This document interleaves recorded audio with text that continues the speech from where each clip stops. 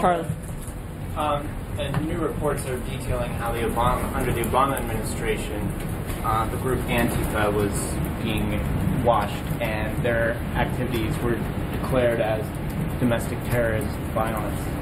Uh, my question is: Was the president or his chief of staff aware of those investigations and reports before Charlottesville? Uh, I'm not sure. I'd have to ask, and I haven't had that conversation, Charlie.